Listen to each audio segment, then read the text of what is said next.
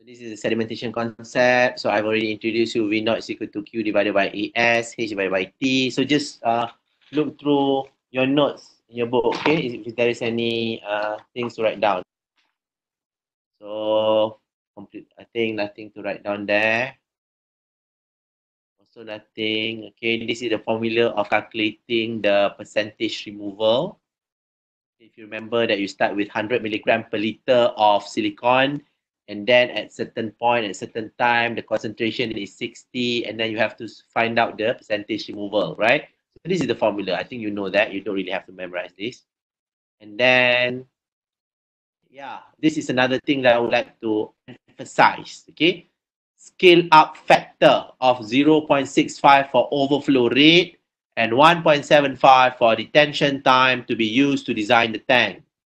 So what it means, okay, remember, when you want to design your sedimentation tank just now, you were using a, a, a, a, lab scale experiment using settling column, okay? So those are in the experiment using settling column.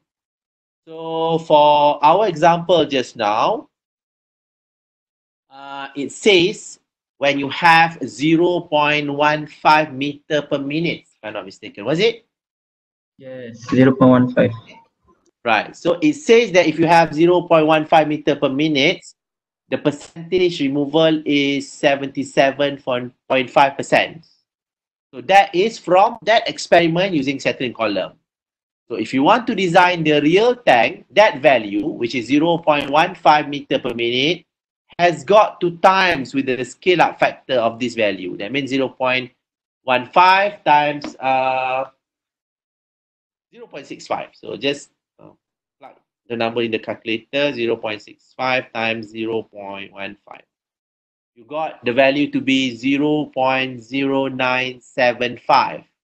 So the real thing is, if you have a design of a tank, the tank has got to have a V naught to be 0.0975, then only it will remove 77.5%. Okay, so not 0.15 meter per minute, but 0.0975.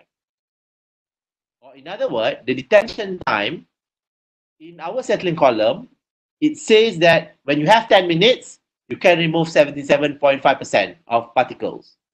But you have to times with the detention time scale up factor for the real tank, okay? Which is 10 times 1.75. So it's in reality, for the for that, uh, if you want to design sedimentation tank, the detention time has got to be 17.5 minutes. Then only it will be able to remove 77.5% particles. Okay? So is that clear?